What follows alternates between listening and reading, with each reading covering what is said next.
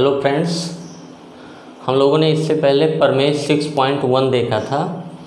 वो थेल्स प्रमेय जिसे बोला जाता है, या आधारभूत समानुपातिकता प्रमेय भी कहा जाता है बेसिक प्रोपोर्शनैलिटी थ्योरम ये क्या था कि कोई त्रिभुज अगर है, किसी त्रिभुज की एक भुजा के समांतर रेखा खींची जाए, अगली दो भुजाओं को जो कट करेगी, उन दो भुजाओं को जो अनुपात होगा, जो विभाजित करने का अनुपात होगा, वो सेम होगा।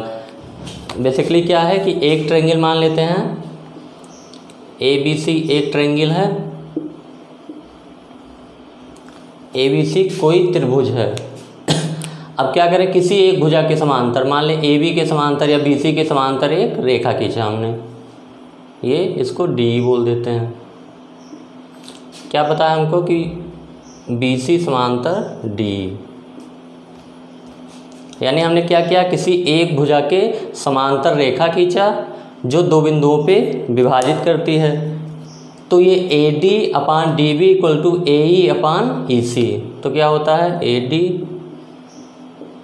upon D B equal to A E upon C या ए ई अपान ई सी बोलिए।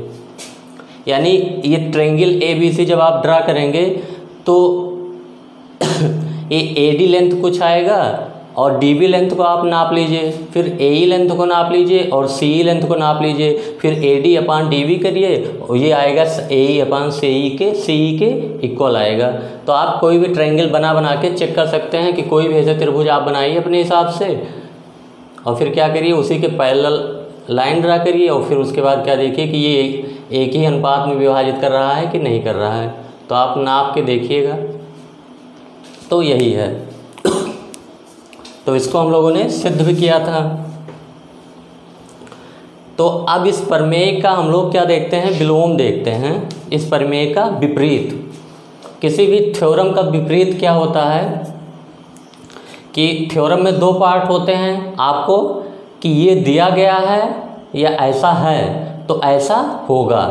दो पार्ट होते हैं। तो जब थ्योरम का विपरीत करते हैं तो वही दोनों पार्ट उलट जाते हैं। देखिए कैसे, इसमें क्या है कि दिया है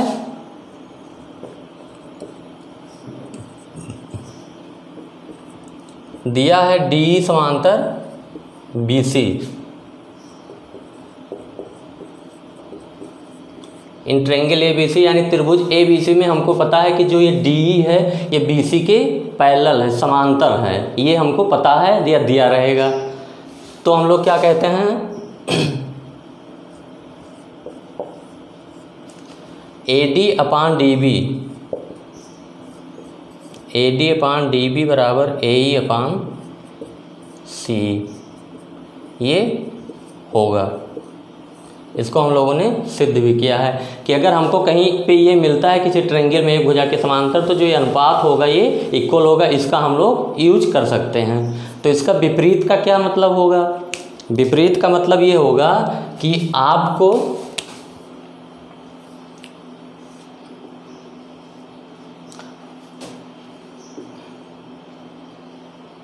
विपरीत क्या होगा? रिवर्स हो जाएगा। आपको ये पता है तो आप ये जान ये जान लेंगे। तो इसका विपरीत क्या होगा? आपको ये पता है, यानी ये पता है और आप ये कह देंगे। यानी क्या पता है? अब कोई ट्रेंगल ए बी सी है और ये डी है तो क्या पता है हमको? A D upon D B बराबर ए ई अपान सी ये क्या है? दिया है। आपको यह पता रहेगा। तो डी समांतर बी सी ये होगा। आप इसका यूज़ कर सकते हैं। तो विपरीत का मतलब यही होता है थ्योरम का कि थ्योरम के दो पार्ट होते हैं कि आपको कुछ दिया रहेगा और कुछ कंक्लूजन पे आप पहुँचेंगे, जिसको हम लोग सिद्ध कर चुके हैं, उसका यूज़ करेंगे। तो अगर डी समांतर बी सी है त्रिभुज ए बी सी में तो हम लोग क्या कहेंगे कि A D upon D B equal to A E upon C ये होगा ही होगा। तो इसका विपरीत क्या होगा? अगर किसी ट्रेंगल सी में A D upon D B equal to A upon C E है तो क्या होगा? डी समांतर बी सी होगा। तो परमेय सिक्स पॉइंट टू हम लोग लिख लेते हैं और फिर इसको प्रूव भी कर लेंगे हम लोग।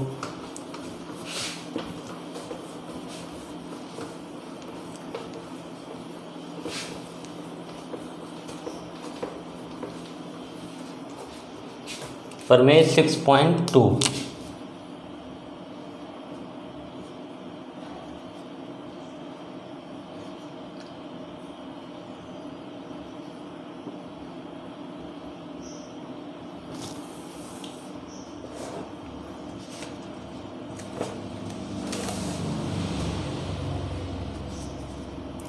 यदि एक रेखा किसी त्रिभुज की दो भुजाओं को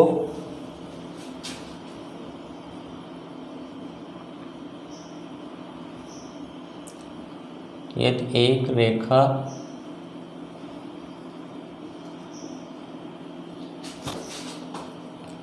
यदि एक रेखा किसी त्रिभुज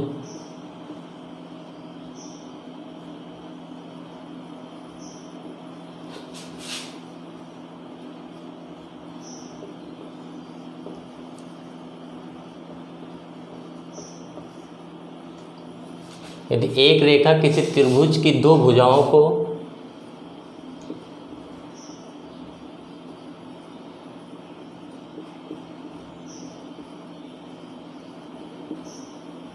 एक ही अनुपात में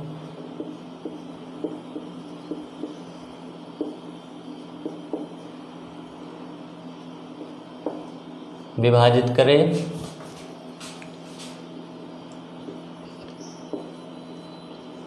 तो वो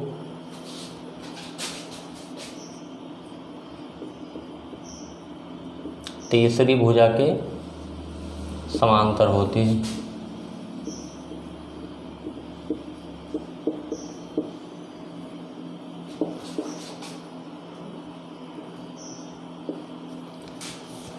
वही है, उसका विपरीत परमेय सिक्स पॉइंट वन का। उसमें क्या था कि एक लाइन एक भुजा के समांतर रेखा खींचोगे तो दोनों भुजाओं को समान अनुपात में विभाजित करेगी।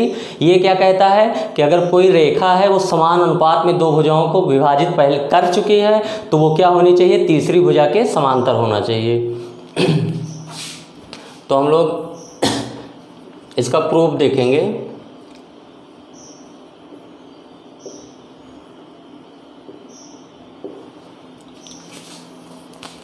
प्रूव करने के लिए हम लोग क्या करते हैं? हम लोगों का दो पार्ट होता है। एक हम लोग देखते हैं कि क्या दिया है और फिर देखते हैं कि क्या सिद्ध करना है। उसके बाद हम लोग उसका प्रूफ पे जाते हैं उपपत्ति पे जाते हैं। तो पहले एकदम क्लियर कट पता होना चाहिए आपको क्या पता है या क्या दिया है और आपको ये भी पता होना चाहिए कि क्या सिद्ध करना है। तो हमको क्या पता है कि क्या कह रहा है कि कोई ट्रेंगल ए बी सी है? एक रेखा किसी त्रिभुज की दो भुजाओं को, त्रिभुज की दो भुजाओं को ये विभाजित कर रही है। एक ही अनुपात में विभाजित करे, यानी A D upon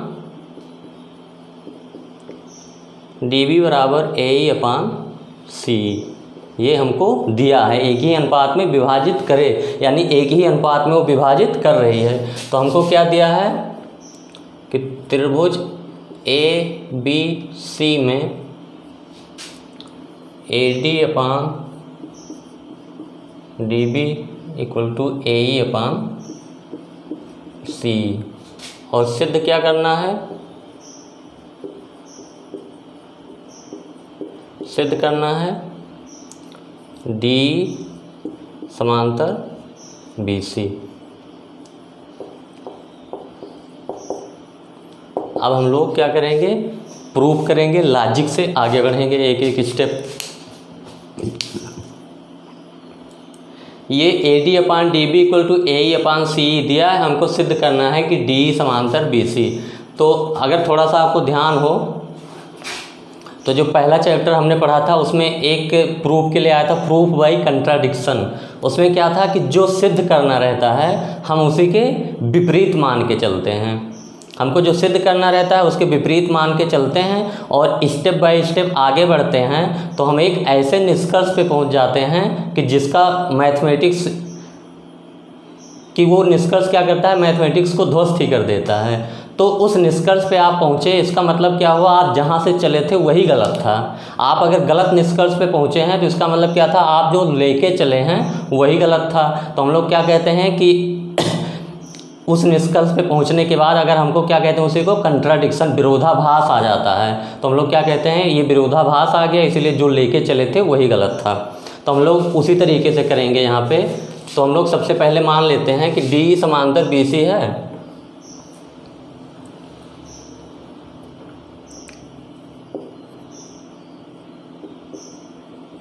माना डी तथा बी सी समांतर नहीं है।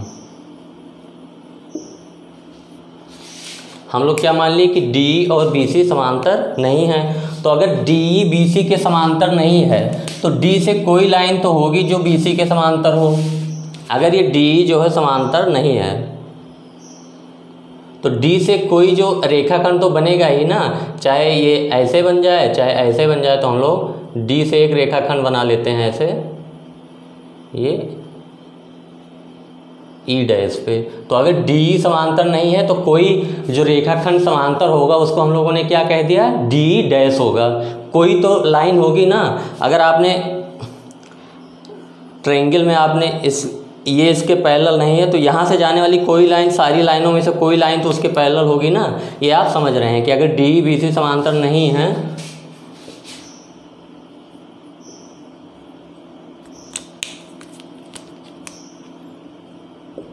ई डैश हम लोगों ने क्या किया? इस प्रकार लिया।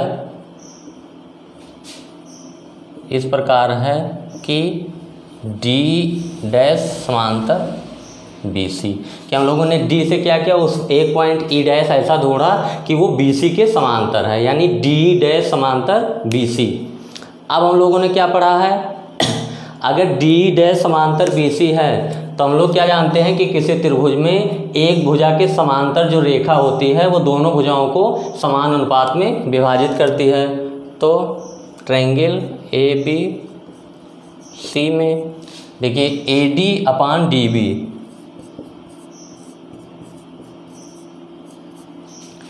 A dash upon C dash. कहाँ से हमको ये पता चला? ये परमेय सिक्स पॉइंट वन से। परमेय सिक्स पॉइंट वन क्या कहता है? कि अगर ट्रायंगल ए बी सी आपका यही है, ट्रायंगल ए बी सी।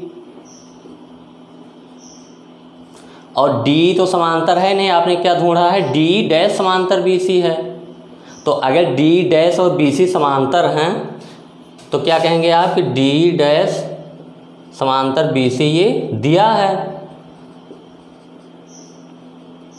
तो A D upon D B equal to A dash upon C dash यही तो परमेय सिक्स पॉइंट वन कहता है कि अगर एक भुजा के समांतर दूस, एक लाइन आपने ड्रा किया तो ये दोनों को क्या करेगा? समान अनुपात में विभाजित करेगा। यानी A D upon D B equal to A dash upon C dash हम लोग कहाँ से पहुँचे ये? सिक्स पॉइंट वन का यूज़ करके। अब एक चीज़ ये देखिए कि A D upon D B equal to आपको दिया है ए ई अपान सी ये आपको दिया है पहले से, इसका यूज़ तो कर सकते हैं ना। तो ये हम लोगों ने देखा। तो ये दिया है A D upon D B equal to A E upon C ये कहाँ से है हमको ये दिया है। इसका यूज़ करेंगे।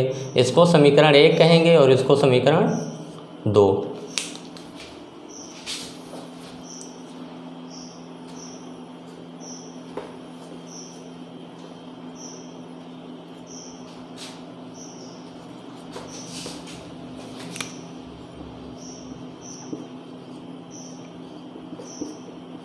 ये क्वेश्चन नंबर एक हो गया, ये क्वेश्चन नंबर टू अब देखिए, ये A D upon D B किसके इक्वल है? इसके इक्वल है. और वही A D upon D B किसके इक्वल है? इसके इक्वल है. तो आप क्या जानते हैं कि जैसे ए बराबर बी है और बी बराबर सी है तो आप यहाँ से क्या लिख सकते हैं कि ए बराबर सी क्योंकि यहाँ पे आप बी बराबर सी ये पता है तो यहाँ बी की जगह सी लिख सकते हैं तो क्या आएगा? यानी ये दोनों आपस में इक्वल होंगे. तो हम लोग क्या कह लेते हैं? समीकरण एक तथा दो से क्या होगा? A dash upon C dash equal to A upon C ये हम लोग यहाँ तक पहुँच गए। अब हम लोग क्या करते हैं? अगर हमको किसी तरीके से ये पता चल जाए कि जो ई डैश वाला पॉइंट है, ये क्या है? ई ही है, यानी ई डैश और ई एक ही पॉइंट हैं। तो हम लोग क्या जानते हैं कि, हम लोग ये देखे हैं कि डी डैश पैरेलल है तो जब डी ई डैश और ई पॉइंट एक ही हो जाएँगे तो जो डी डैश होगा वही डी होगा। तो डी डैश अगर पैरेलल है तो डी भी पैरेलल होगा। तो इसके लिए हम लोग एक काम करते हैं, इसमें दोनों साइड में वन जोड़ देते हैं। आप लोग देखिए कि ये A dash upon C dash plus one A upon C plus one ये दोनों बराबर है तो दोनों पक्षों में एक जोड़ने पे तो वो भी बराबर होगा। तो यहाँ पे लिख दीजिए आप दोनों पक्षों में एक जोड़ने पर।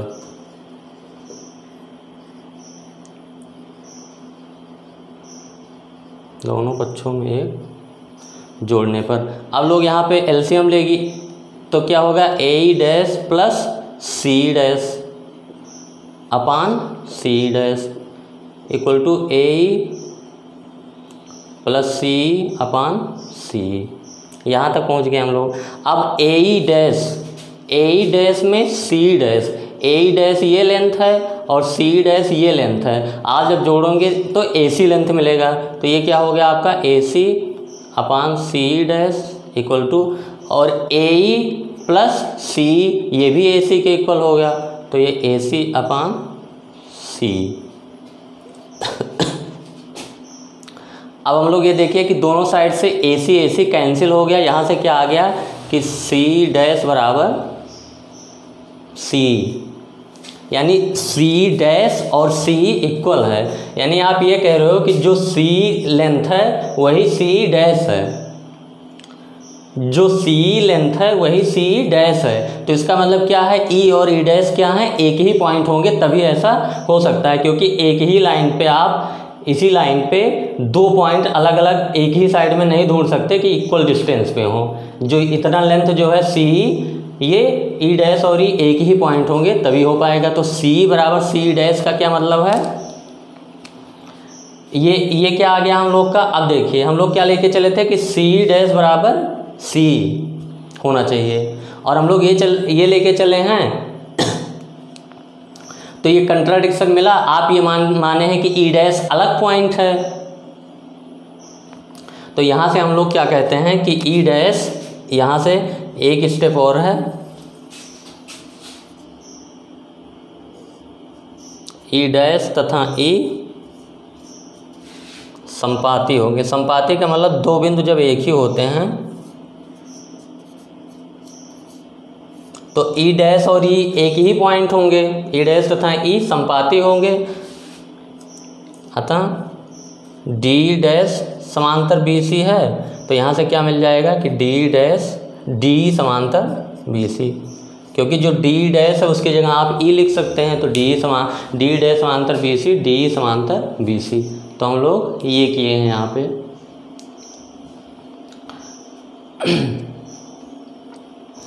तो हम लोग फिर से देखते हैं क्या करना है। वो क्या था कि अगर किसी त्रिभुज की एक भुजा के समांतर रेखा खींची जाए तो वो दोनों भुजाओं को समान अनुपात में विभाजित करती है। ये क्या होगा? अगर दो भुजाओं को समान अनुपात में विभाजित करती है तो वो क्या होगा? तीसरी भुजा के समांतर होगी।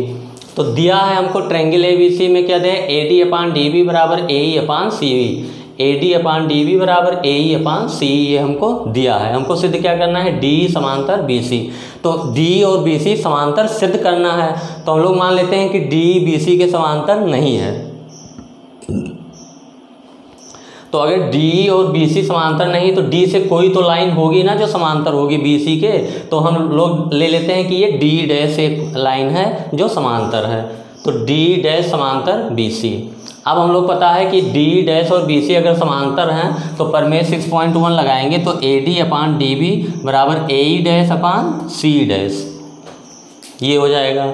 और हम लोग देखते हैं A D upon D B क्या है? पता है, ये ए ई अपान सी के बराबर है। यानी ए ई अपान सी बराबर A dash upon C dash दोनों साइड में एक जोड़ दीजिए, फिर एलसीएम लीजिए आ गया ए सी अपान सी डैश बराबर ए सी अपान सी इसको क्रॉस मल्टीप्लाई करेंगे तो ये कैंसिल होके सी डैश बराबर सी आ गया। यानी ई डैश और ई एक ही पॉइंट होने चाहिए। यानी ई डैश और ई अगर एक ही पॉइंट है तो आपका डी डैश अगर पैरेलल है, आप तो लेके चले हो ना कि डी डैश पैरेलल है तो डी भी पैरेलल होगा क्योंकि ई डैश और ई अलग अलग पॉइंट नहीं है। तो हम लोगों ने इसका प्रूविंग देख लिया। प्रूविंग में ये देखिए कि एक एक जो स्टेप होता है, ये बहुत लॉजिकल होता है इसमें। मतलब ऐसा कुछ नहीं होता कि एकदम इजी से समझ में आ जाए। एक एक स्टेप जो प्रूव प्रूविंग का होता है, काफ़ी लॉजिकल होता है। तो आप धीरे धीरे जो है इसमें आगे बढ़ेंगे। तो हम लोग यहाँ तक देख चुके हैं। क्या देख चुके हैं कि समरूपता, हम लोगों ने सबसे पहले देखा समरूपता में क्या देखा कि दो बहुभुज समरूप होंगे। अगर उनके संगत कोण बराबर हों और संगत भुजाओं का अनुपात समान हो। क्योंकि हम लोग जानते हैं कि किसी फिगर को जूम करने से या उसको छोटा करने से एंगल चेंज नहीं होता दो लाइनों के बीच में। क्या होता है? जो उसका जो डायमेंशन होता है, यानी जो लेंथ वगैरह होता है, वो एक फिक्स नंबर से मल्टीप्लाई होके बढ़ जाता है। जैसे आपने, आपकी कोई फ़ोटो है, उसमें आपका हाथ पाँच सेंटीमीटर है। और पैर आपका दस सेंटीमीटर है। तो मान लो उसको जब जूम करके हाथ आपका दस सेंटीमीटर हो गया, यानी दो गुना हो गया तो जो फ़ोटो रहेगी उसमें पैर भी आपका क्या हो जाएगा? दो गुना हो जाएगा। बीस सेंटीमीटर। तभी बैलेंस रहेगा, तभी समरूप आएगा। नहीं तो हाथ छोटा सा, पैर बड़ा सा आ जाएगा तो एक ही कहाँ रह जाएगा? तो इसीलिए क्या होता है, सारे जो है एक फिक्स रेशियो में कन्वर्ट होते हैं। तो हम लोगों ने बहुभुज के लिए क्या देखा था कि संगत कोण बराबर होने चाहिए और संगत भुजाएँ समानुपाती होनी चाहिए। फिर हम लोग क्या है, त्रिभुज पे देखा समरूपता के लिए। तो त्रिभुज भी एक बहुभुज है तो त्रिभुज की समरूपता के लिए हम लोगों ने वही कंडीशन लगाया कि क्या होने चाहिए, सारे कोण संगत कोण बराबर होने चाहिए और संगत भुजाओं का अनुपात समान होना चाहिए। लेकिन थेल्स ने बताया, एक बहुत बढ़िया बात बताया कि अगर त्रिभुज के तीनों कोण आपके समान हैं, यानी दो समान कोण एक त्रिभुज हैं तो फिर आप उनकी संगत भुजाओं का अनुपात सेम होता ही होता है। आप उसको चेक करने की ज़रूरत नहीं है। यानी दोनों कंडीशन जो बहुभुज के लिए दो कंडीशन थी कि संगत कोण बराबर होने चाहिए और संगत भुजाएँ समानुपाती होने चाहिए, त्रिभुज के लिए क्या हो गया? एक ही कंडीशन से हो जाएगा कि अगर दो त्रिभुज हैं, तीनों कोण बराबर हैं तो संगत भुजाएँ समानुपाती होती हैं। तो हम लोग इसका यूज़ कर लेंगे। तो हम लोग ये देखे थे कि इस लॉजिक पे वो पहुँचे कहाँ से? थेल्स कि समान कोणिक त्रिभुज के संगत भुजाएँ समानुपाती होती हैं। तो इसके लिए बेसिक प्रोपोर्शनैलिटी थ्योरम आधारभूत समानुपातिकता परमेय या थेल्स का परमेय हम लोगों ने पढ़ा। उसमें क्या है कि कोई ट्रेंगल ए बी सी है, आप एक भुजा के समांतर रेखा खींचिए तो दोनों भुजाओं को जो कट करेगी तो उन भुजाओं का जो अनुपात होगा, वो क्या होगा? सेम होगा। तो और फिर इसका विपरीत हम लोग देखें कि अगर समान अनुपात में वो दो भुजाओं को कट कर रही है तो वो लाइन जो होगी वो तीसरी भुजा के समांतर होगी, और दोनों का प्रूविंग हम लोगों ने देखा। तो इसके बाद क्या करेंगे? आधारभूत समानुपातिकता प्रमेय पर बेस्ड हम लोग क्या करेंगे? क्वेश्चन करेंगे दोनों प्रमेय पर। फिर उसके बाद त्रिभुजों की समरूपता पे आएँगे। Okay thanks for watching